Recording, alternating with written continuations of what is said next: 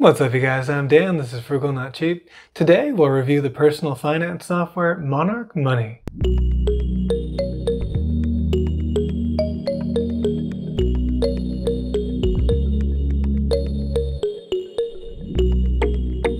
So it's been a while since I reviewed a personal finance software.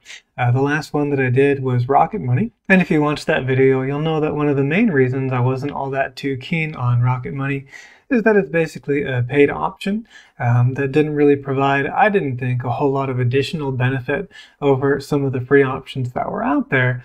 And namely, the two free options that I was thinking of at the time are Empower, which is what I use, formerly known as Personal Capital, and also Mint.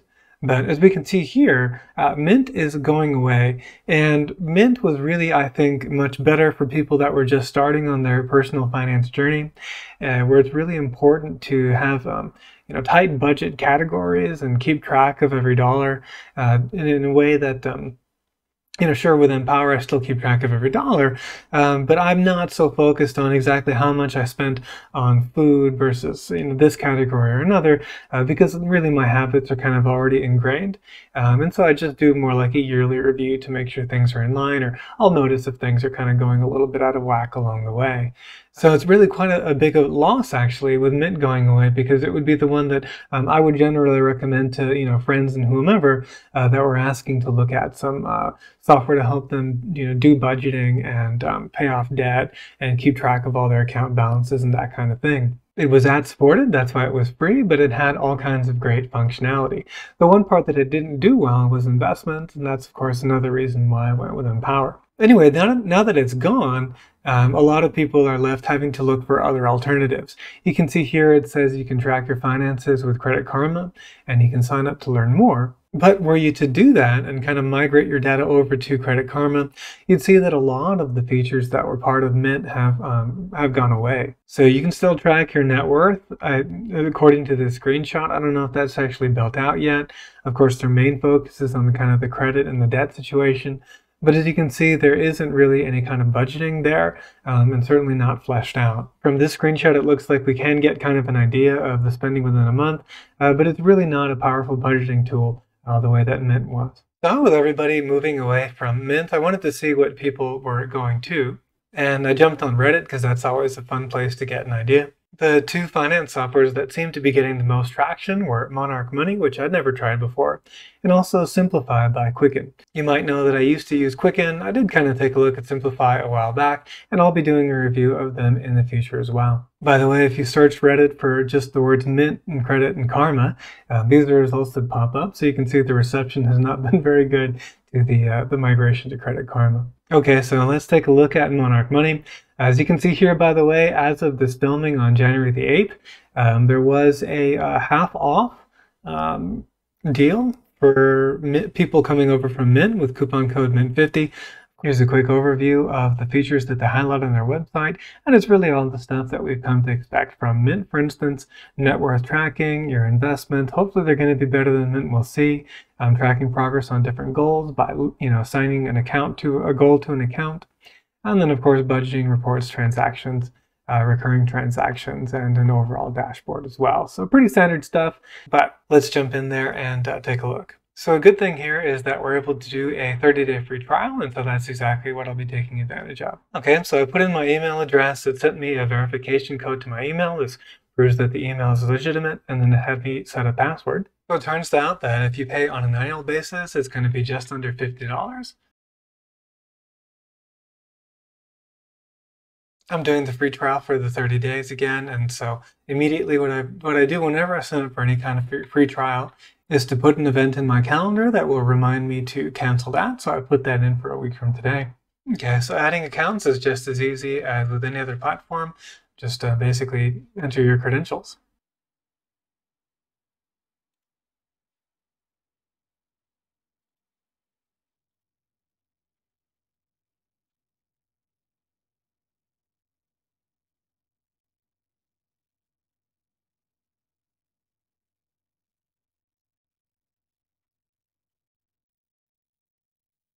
All right, so I linked accounts from two of my financial institutions. One's Charles Schwab.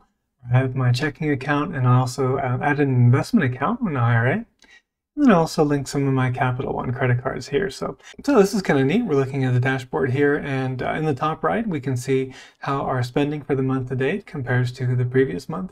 This is kind of similar to the cash flow view that you can see in Empower. It's also got a spot where I would set up my budget. We'll get that going later. Net worth tracking and then recent transactions as well. Scrolling further down, we can now see um, any goals that we might set up. And then we can also see recurring transactions, which uh, it thinks that I do these things, $16, but um, that's not true. those are not recurring. I don't know what those were, probably for movies or something like that with a group of friends. Uh, and then it's also got some investments there as well, so that's good. Here's what the account screen looks like, and we can see uh, our net worth charted here. Uh, we can do monthly, quarterly, and yearly, but I'm not seeing a way to do custom date ranges, so that's a bit of a disappointment. We can see all of our accounts here, as well as um, a nice little summary of your assets and your liabilities, of course, making up that net worth. And then it also does allow us to download that as a comma separated Excel file. Here's the transactions view. It's always good to see right off the bat that you can do an edit multiple in case you need to uh, batch recategorize or do something like that. It is possible, by the way, to hide the menu bar on the left just by clicking here. And we do have uh, powerful filter and sort features, as you can see here on the right. We can do by account, category, by amount, um, all kinds of sorting. We can also search transactions by keywords as well. It's also nice how it has subtotals by date. This is something you don't necessarily see everywhere, but I do think that's a nice little touch. I also like the little icons that it has for each of the different categories. And this summary with all of the transactions, largest transaction, total income, total spending, all that is pretty neat as well. The cash flow section is pretty self-explanatory and looks pretty nice and clean and simple and easy to read. Um, again, though, unfortunately, it doesn't have a um, custom date feature. I'm only seeing monthly, quarterly, and yearly for the chart. Having said that about those views, the reports tab is where we're able to set custom dates, as you can see here. And we're able to do not only cash flow, but also spending, income, and we're able to do this really cool Sankey diagram of how we are um, allocating all of the income that's coming in, how we're spending that. So that's really, really cool to see.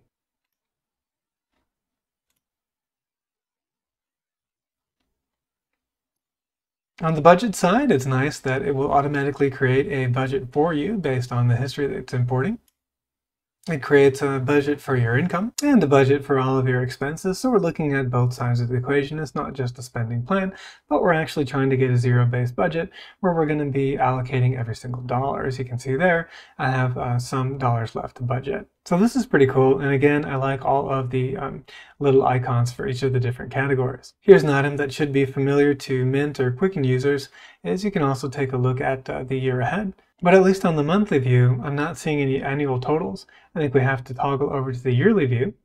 Oh wow, no, if we hit the yearly view, then it actually does do uh, your budget for all of the different years as a column each one. So that's pretty cool. You can really look um, quite far out. Here's another great feature that if you've ever had Quicken before, you might have enjoyed, is basically that they put all of your recurring bills and whatnot uh, on a calendar. And there's also another view where you can see the different merchants. This is something that uh, Empower doesn't really have. You can see your upcoming credit card bills, but you're not able to see all of the different uh, merchants. Like here, it's got my electricity and my internet and what have you, and that's not available on Empower. Here we can also see which ones are upcoming and which have been completed, which is really nice. On the goals tab here, if I had any kind of a debt account or um, a savings account, I could always set a goal in order to reach a certain amount of savings or in order to pay down a certain amount of debt. And so that'd be something we could set up here. Finally, let's take a look at the investment section here and see how that compares. Um, certainly almost anything is going to be a step up over Mint because Mint was pretty terrible at doing this, but let's see.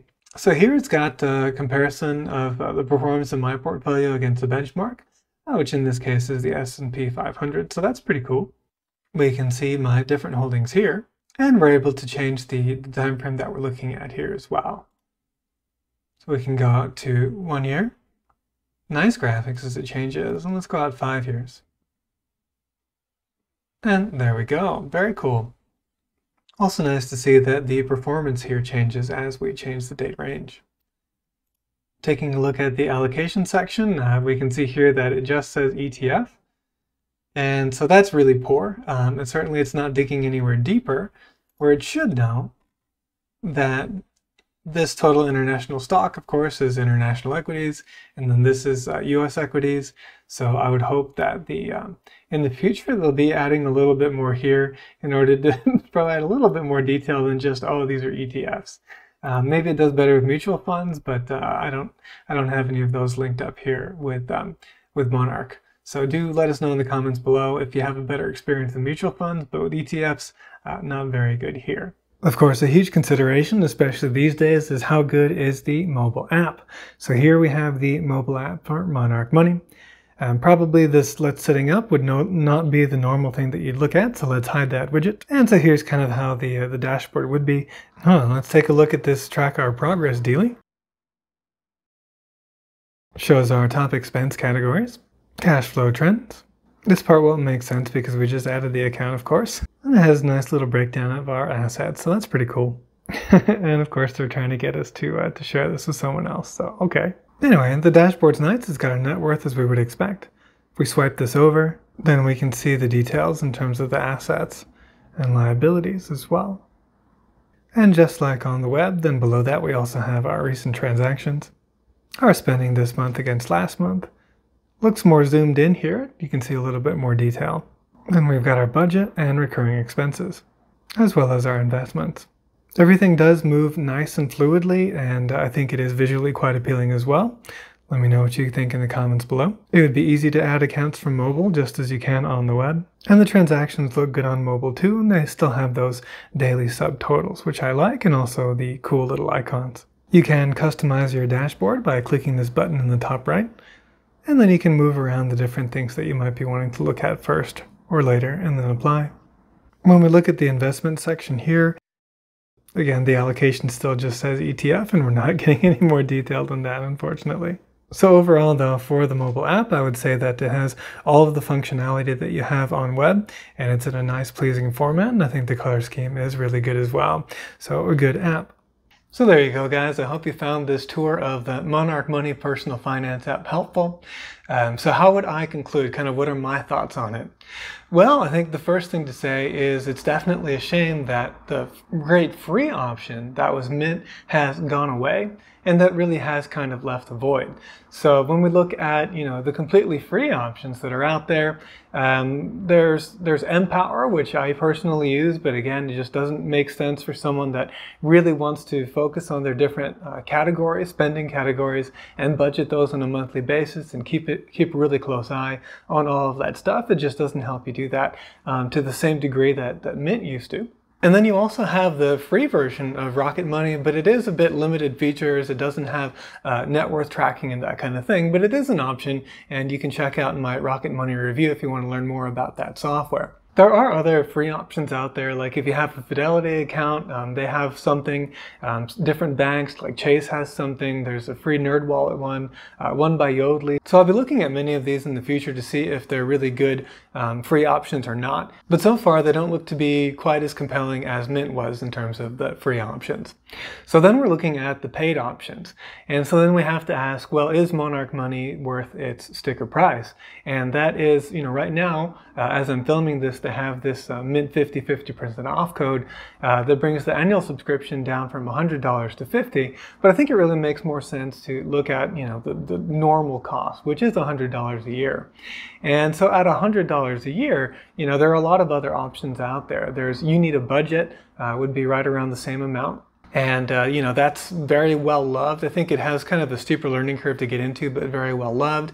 Um, then you've got Simplifi by Quicken, which is cheaper, and I think they have a really good uh, offer out there as well. That'll be my next review, so I can give you some more detailed uh, thoughts about that. So I guess I would summarize by saying that at $50 a year, uh, Monarch Money seems like a, you know, a, a very solid deal. Like it's a good offering. It's a, it replaces uh, it's able to do a lot of the stuff that Mint could do. Still seems to have that little quirk about investments, but hey, what are you going to do?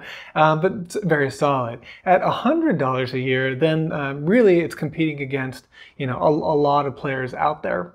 And at that stage, it's really kind of your personal friends, preferences and, and what you like uh, the most Because if you wanted a ton of features, you know, even beyond what what um, what Mint ever had, you could look at desktop options like like Quicken. Um, I moved away from them for many reasons. You can check out my video. Uh, but there are there's a certain demographic, of course, that's going to really want uh, to have all those those features, and then also to have uh, maybe like a, a desktop version and not a cloud-based version. And then if we're looking at cloud-based ones, well, then again, Simplifi is cheaper. Uh, Rocket Money has a sort of pay what you think it's worth option that can go as low as I think about $4 a month, uh, which comes out to under $50 a year. And again, Rocket Money does have a lot of good features as well in the premium version. Um, just kind of check out the video, but the, the quick Cliff Notes version is like, be careful about all the stuff that they're cross-selling you. Uh, they're really, really savvy about doing that with the application. So in short, I guess what I'm saying is it's a solid uh, replacement for Mint. However, with a $100 a year cost, it is a bit expensive. And so it would behoove you to look around and see if there are other options that, you know, accomplish what you want and, and are able to fit in your budget. But that being said, it is uh, it does look to me like a solid option as well. Hope you found today's video helpful. If you did, please hit the like button and consider subscribing. Thank you very much for watching, and I will see you in the next video.